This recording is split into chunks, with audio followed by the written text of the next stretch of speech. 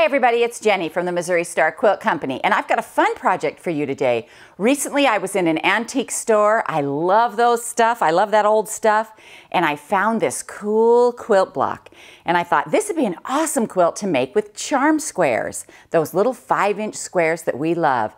And so I brought it home and it wasn't until I got it home that I looked at it and realized what it really was. There's about three ways you could make this block, but we have chosen, we've taken this part right here, this one block that's a bow tie unit right here, and that's how we're gonna make this quilt. You can see there's another way too, four patch and a snowball and four patch and a snowball, but we're gonna concentrate on this bow tie block. So let me show you how to do this. Let's look at this quilt behind me. All right, so here is our little square we're gonna work on right here, this little bow tie block right there. And you can see when they come together, they make this cool pattern. And you can see this block in the pattern. But we've dissected it and we're gonna make it a lot easier for you. So to make this quilt, what you're gonna need is two packs of five inch squares. And we have used this hopscotch candy necklace by Jamie Fingal for RJR. It's just adorable. You're gonna need some background fabric for your five inch squares, or you can use charms as well. You won't use a full two pack. Um, but we used yardage because of that, and you're gonna need one and three quarter yards, and out of that, that includes this first little border right here. This outer border is a six and a half inch border, and you're gonna need one and a quarter yards for that. Now let's check on the backing. Here's our backing, that cute little purple print, and we used four yards for that backing. So this is a quick, easy quilt, basically a four patch. So to make this block, what you're going to want to do is you're going to want to choose two for your, uh, for your bow tie parts.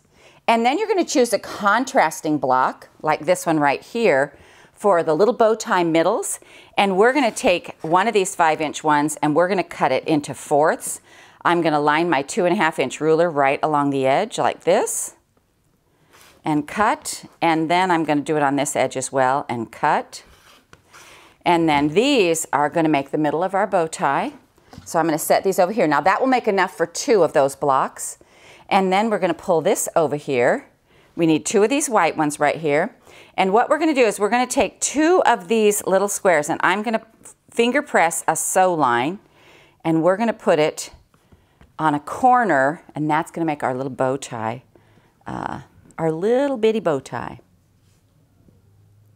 So it doesn't matter what corner they go on because you're going to be able to turn these however you want to. So we're going to sew on this line corner to corner and let's go to the sewing machine and do that.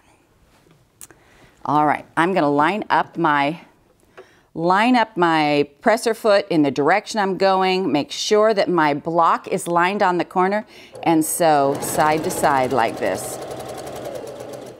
And I'm going to grab that other one and just chain piece these. We love chain piecing, it's so fast. All right. Again, make sure it's lined up on the corner and you're sew straight across, just like that. Then we're going to trim off this edge. So we're going to take our little ruler, lay it a, a quarter of an inch away from the stitch line, and just trim that off. So you're going to do that to both pieces. We're going to take our other ruler, our ruler and line it up on the other line, trim it off as well. Now we want to press these back. So we're gonna bring it over here to the iron. I'm gonna just set those seams. I don't always remember to do that, but it does relax that thread a little bit. All right. Now when we go to put this together, we're gonna put it together just like a four patch. So these are gonna go opposite sides and we're gonna put our two colors right here like this. See how that makes like a little giant bow tie right there? All right, so what we're gonna do is we're gonna lay these on top of each other.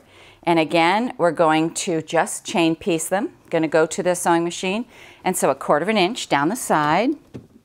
I'm gonna make sure these are nice and lined up. And then we're gonna do this one as well.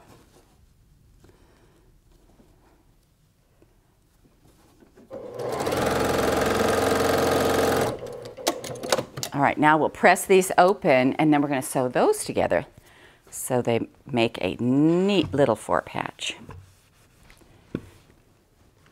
It's so funny how you look at a pattern like this and and you, uh, you see different things in it. And I didn't notice it was a bow tie until I got it home. So now there's this. We're gonna lay this on top of here. You wanna make sure that you've pressed your seams in opposite directions so they can nest right up. You can see right here. Mine are laying real close together. I'll even scooch them a little bit more. Feel it with your fingers to make sure there's no room in there. And then we're gonna sew a quarter of an inch right down the side. All right, let's zoom with this. Here we go.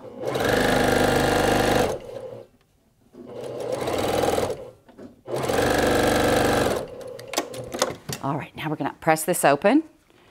And our whole quilt is this little block right here. And it makes such a cool pattern. This is a traditional bow tie block right here. And we, to put this together, it's just so easy. I've got a few blocks made over here. And let's look at the quilt first. So see how these go where we put the big blocks of color together. So this top row right here is, you want to put it so that these two blocks come together and then these two, then these two, then these two, just like that. Your next row, again, you're going to match up your colors, you know, so you always put it together so those big blocks come together. So when you lay it out, you're going to do this. You're going to go, here's your first one, and then your second one is going to line up just like that. Third one up here. See how that goes? Fourth one right here. When we go to add the next row, you're going to make sure that it comes together in that big four patch, just like that. See how cool that looks? And this one here. So you're always putting your big blocks of color together and it's so easy to lay out, makes a cute quilt. And this block right here is, is this block right here. Isn't that fun? Now the quilt ends up being, oh, 61 by 70 inches in size, so it's a pretty good size quilt. We're calling it roundabout because it makes these cool rounding patterns. And we hope you enjoyed this tutorial on the roundabout quilt from the Missouri Star Quilt Company.